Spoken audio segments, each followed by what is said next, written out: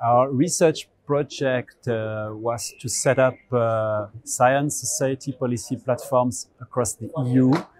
So to uh, build recommendations about the policy agenda and the research agenda for uh, the future of rural areas and um, rural communities. And the, the, the project itself, Sherpa project, has uh, successfully gathered uh, diverse uh, actors and stakeholders from rural areas in that respect.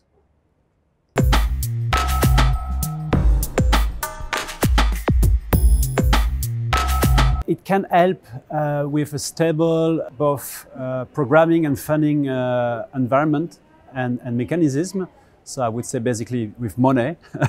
so hopefully we, we have uh, enough money at the moment so to uh, conduct, to deliver enough research and innovation for rural communities and rural areas. So this is, this is uh, already uh, the case and it, it's better than before.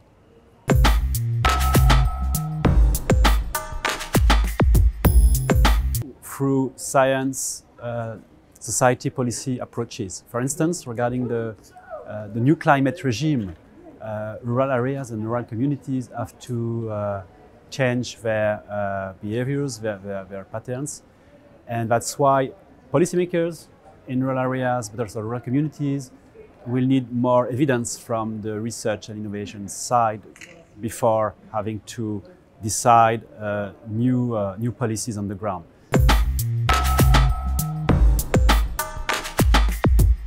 To observe our common targets and agendas towards 2050.